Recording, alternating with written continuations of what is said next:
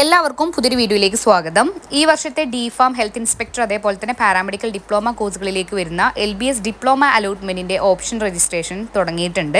So ഇന്ന് തൊട്ട് നിങ്ങൾക്ക് ഏത് കോഴ്സിനാണോ നിങ്ങൾ താല്പര്യപ്പെടുന്നത് ആ കോഴ്സിനും അതേപോലെ നിങ്ങൾ ഇഷ്ടപ്പെടുന്ന കോളേജും നിങ്ങൾക്ക് ഓപ്ഷൻസ് ആയിട്ട് നൽകാവുന്നതാണ്. സോ ഇന്ന് തൊട്ട് നിങ്ങൾക്ക് ഇരുപത്തി അഞ്ചാം തീയതി വരെയാണ് ഓപ്ഷൻസ് കൊടുക്കാനുള്ള സമയമുള്ളത്. സോ നിങ്ങൾക്ക് അഞ്ച് ദിവസത്തെ സാവകാശമുണ്ട്. ശ്രദ്ധയോടുകൂടെ ഓപ്ഷൻസ് കൊടുക്കുക. നിങ്ങൾക്ക് താല്പര്യമുള്ള കോളേജ് മാത്രം നിങ്ങൾ ചൂസ് ചെയ്ത് കൊടുക്കുക. ഗവൺമെന്റ് കോളേജും സെൽഫ് ഫിനാൻസിങ് കോളേജും എല്ലാം നിങ്ങൾക്ക് കൊടുക്കാവുന്നതാണ്. ഒന്നിലധികം കോഴ്സുകൾ ഉദ്ദേശിക്കുന്ന കുട്ടികൾ അതിനനുസരിച്ചിട്ട് നിങ്ങൾ ഓപ്ഷൻസ് കൊടുക്കുക. അപ്പോൾ എങ്ങനെയാണ് ഓപ്ഷൻസ് കൊടുക്കേണ്ടതെന്നുള്ളത് ജസ്റ്റ് ഒരു ഡെമോ ഞാൻ ഞാനിതിൽ കാണിക്കുന്നുണ്ട്.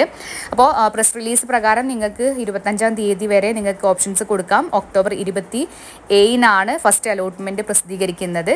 എന്തെങ്കിലും സംശയങ്ങൾ ഉണ്ടെങ്കിൽ താഴെ തന്നിട്ടുള്ള നമ്പറിൽ നിങ്ങൾക്ക് കോൺടാക്ട് ചെയ്യാവുന്നതാണ്. അതേപോലെ തന്നെ റാങ്ക് ലിസ്റ്റിൽ ഉൾപ്പെട്ട എല്ലാ കുട്ടികൾക്കും ഓപ്ഷൻസ് കൊടുക്കാം. ഓപ്ഷൻസ് കൊടുക്കാത്ത കുട്ടികളെ അലോട്ട്മെന്റിൽ പരിഗണിക്കുന്നതല്ല. ഓപ്ഷൻ രജിസ്ട്രേഷൻ നിങ്ങൾ കംപ്ലീറ്റ് ചെയ്യണം. സോ പ്രൊഫൈലിനകത്ത് ലോഗിൻ ചെയ്ത് ആദ്യം നിങ്ങൾ കോളേജ് ലിസ്റ്റ് ഒന്ന് ചെക്ക് ചെയ്യുക. നിങ്ങൾ ഉദ്ദേശിക്കുന്ന കോളേജ് ഏതാണ്? അല്ലെങ്കിൽ നിങ്ങൾ ഉദ്ദേശിക്കുന്ന കോഴ്സ് ഏതാണെന്നുള്ളത് ജസ്റ്റ് ഒരു പേപ്പറിൽ നിങ്ങൾ നോട്ട് ചെയ്ത് വെക്കുക. എന്നിട്ട് നിങ്ങൾ ഓപ്ഷൻ രജിസ്ട്രേഷൻ ചെയ്യേണ്ടതാണ്. നിങ്ങൾക്ക് കഫയിലൊന്നും പോകാതെ തന്നെ നിങ്ങൾക്ക് ഫോണിൽ തന്നെ സെൽഫായിട്ട് ചെയ്യാവുന്നതാണ്. വളരെ സിമ്പിൾ ആയിട്ടുള്ള മെത്തേഡാണ് നിങ്ങൾ first plus one plus two allotment ഒക്കെ ചെയ്ത പോലെ തന്നെ നിങ്ങൾ നമ്പർ ഓർഡറിൽ ഏത് കോഴ്സാണ് അല്ലെങ്കിൽ ഏത് കോളേജ് ആണെന്നുള്ളത് നമ്പർ ക്രമപ്പെടുത്തി നിങ്ങൾ ഓർഡർ ചെയ്ത് സേവ് ചെയ്യേണ്ട ആവശ്യമുള്ളൂ. സോ ഫോണിൽ തന്നെ നിങ്ങൾക്ക് ചെയ്യാവുന്നതാണ്. അപ്പോൾ എങ്ങനെയാണ് ചെയ്യേണ്ടത് എന്നുള്ളത് ജസ്റ്റ് ഒരു ഡെമോ കാണിക്കുന്നുണ്ട്. അപ്പോൾ എല്ലാ വിദ്യാർത്ഥികളും അതേപോലെ തന്നെ ഓപ്ഷൻസ് കൊടുക്കുക. സോ ഓപ്ഷൻസ് കൊടുക്കാനായി നിങ്ങളുടെ പ്രൊഫൈലിനകത്ത് ലോഗിൻ ചെയ്യുക നിങ്ങളുടെ ആപ്ലിക്കേഷൻ നമ്പർ അതേപോലെ തന്നെ രജിസ്റ്റർ നമ്പർ പാസ്വേഡ് അതേപോലെ തന്നെ വെരിഫിക്കേഷൻ കോഡെല്ലാം കറക്റ്റായിട്ട് എന്റർ ചെയ്തതിന് ശേഷം നിങ്ങളുടെ പ്രൊഫൈലിനകത്ത് ലോഗിൻ ചെയ്യേണ്ടതാണ്.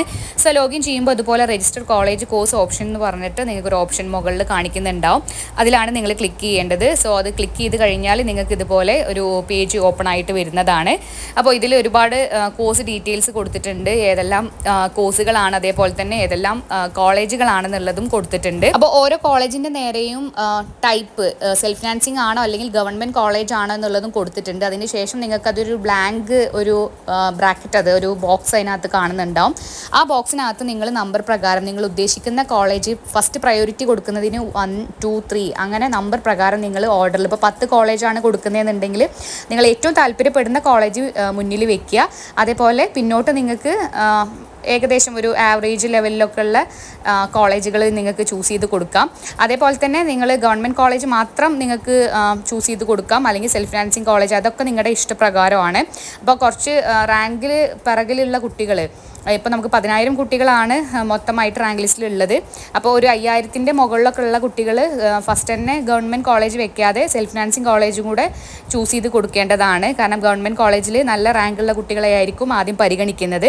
അപ്പോൾ ഇങ്ങനെയാണ് നിങ്ങൾ ഓപ്ഷൻസ് കൊടുക്കേണ്ടത്. ഇതിലെന്തെങ്കിലും സംശയങ്ങൾ ഉണ്ടെങ്കിൽ തീർച്ചയായിട്ടും നിങ്ങൾ കമന്റ് സെക്ഷനിൽ കമന്റ് ചെയ്യുക സാവകാശം കൊടുക്കുക. അഞ്ച് ദിവസം ടൈം ഉണ്ട്. ഇരുപത്തഞ്ചാം തീയതി വരെ നിങ്ങൾക്ക് ഓപ്ഷൻസ് കൊടുക്കാവുന്നതാണ്. സോ ഓപ്ഷൻ രജിസ്ട്രേഷനുമായിട്ട് ബന്ധപ്പെട്ട എന്തെങ്കിലും സംശയങ്ങൾ ഉണ്ടെങ്കിൽ നേരത്തെ പറഞ്ഞ പോലെ കമന്റ് സെക്ഷനിൽ കമന്റ് ചെയ്യുക മറ്റൊരു അപ്ഡേറ്റ്സ് ആയിട്ട് നമുക്ക് ഉടനെ കാണാം. Take care